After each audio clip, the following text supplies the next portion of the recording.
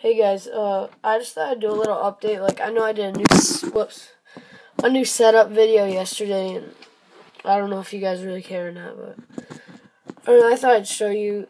I got some new players up here, and these would also be people I'm looking for cards of, because these are like my favorite players. So let me turn the flash on. Uh, that's kind of bright. I added the Mike Trout, and I added the Josh Hamilton and Andrew McCutchen. And I again I have so much room like right there and right there. I'm probably gonna add more, but yeah. And I still don't know what to do up there where my Hayward PC was, cause I don't know. But alright, just let me know. Peace.